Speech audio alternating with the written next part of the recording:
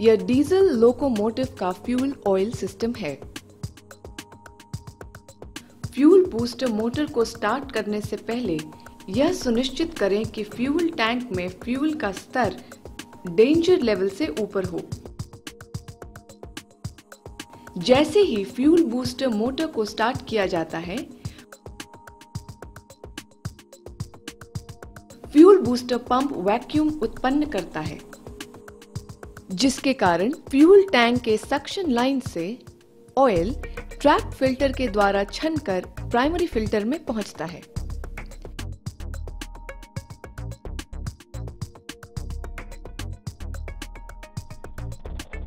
अब oil booster pump से होता हुआ रिलीफ वाल्व में पहुँच जाता है। रिलीफ वाल्व 70 psi पर सेट होता है और फ्यूल के दबाव को 70 psi तक रखता है, जिससे बूस्टर पंप मोटर पे कोई अतिरिक्त दबाव न पड़े। रिलीफ वाल्व फ्यूल ऑयल की अतिरिक्त मात्रा को रिटर्न पाइप के माध्यम से फ्यूल टैंक में वापस भेजता है और साथ ही फ्यूल ऑयल सेकेंडरी फ़िल्टर में फ़िल्टर होता है।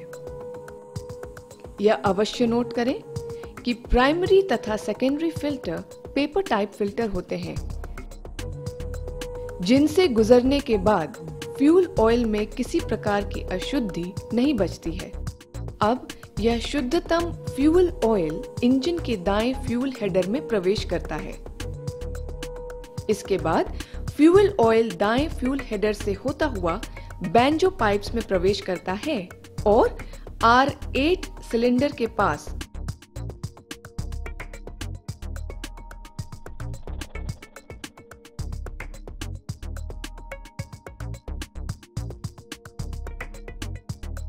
क्रॉस ओवर पाइप द्वारा बाएँ फ्यूल हेडर में भी चला जाता है।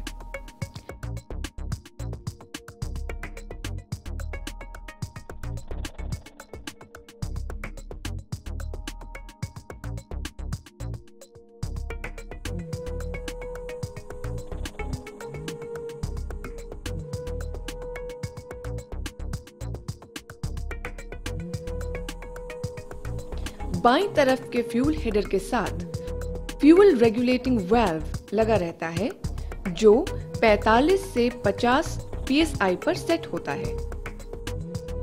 यदि फ्यूल ऑयल 45 से 50 psi से अधिक दबाव में होता है तो फ्यूल रेगुलेटिंग वेल्व अतिरिक्त फ्यूल ऑयल को फ्यूल रिटर्न पाइप के द्वारा फ्यूल टैंक में वापस भेज देता है।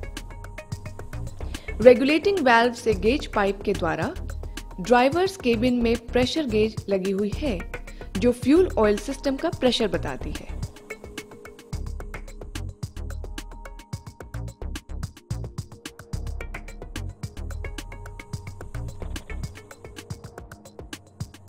इंजन स्टार्ट होने पर फ्यूल इंजेक्शन पंप से यह fuel oil high pressure tube से होता हुआ इंजेक्टर में पहुँच जाता है।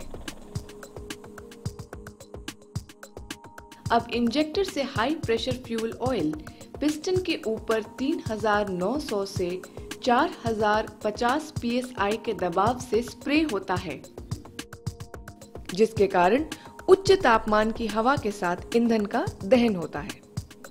इसी प्रकार यह प्रक्रिया दाई तथा बाई दोनों तरफ़ के 8-8 सिलेंडरों में लगातार चलती रहती है।